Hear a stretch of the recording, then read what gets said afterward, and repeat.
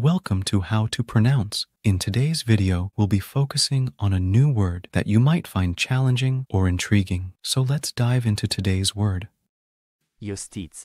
which means justice or legal system in German-speaking countries. let's say it all together. Justiz. Justiz.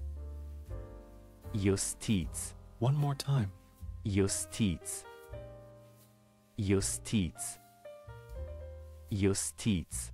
Thank you for joining us on this adventure in pronunciation. Remember, language is a journey, not a destination. Keep exploring, experimenting, and expanding your linguistic horizons. We'll see you next time.